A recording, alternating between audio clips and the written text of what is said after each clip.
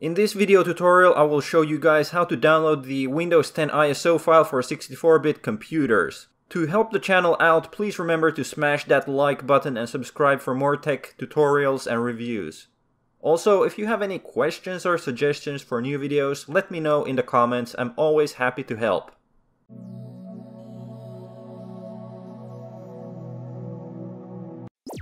When I was a teenager, I used to pirate Windows XP from the Pirate Bay. Let me know in the comments if you did too. But today things are a bit different. You can download Windows 10 for free from the Microsoft website. It's 100% legal and safe with no viruses attached. That's what we're going to do today. First off, head to the Microsoft software download page, it's linked in the video description. Click on the Windows 10 image. Then under where it says Create Windows 10 Installation Media, click on the Download Tool Now button. Save the file to your hard drive. Open the Media Creation tool.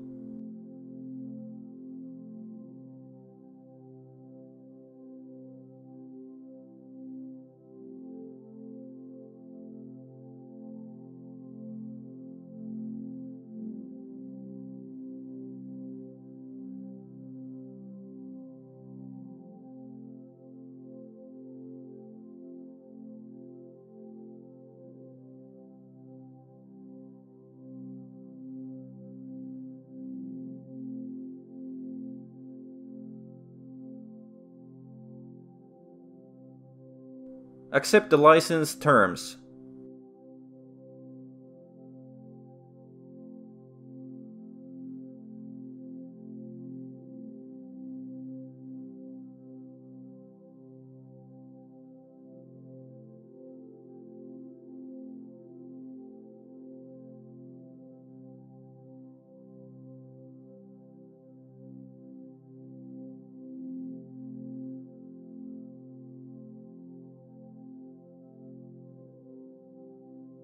Now select Create Installation Media USB Flash Drive DVD or ISO file for another PC. Then click on Next. Untick the Use the recommended options for this PC. Select your desired language.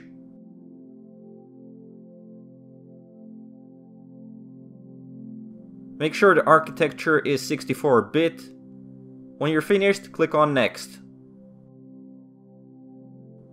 Now select ISO file.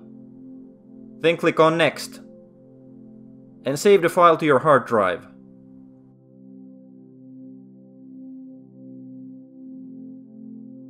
Next, just wait for the file to download. This could take a while because it's between 4 and 5 gigabytes.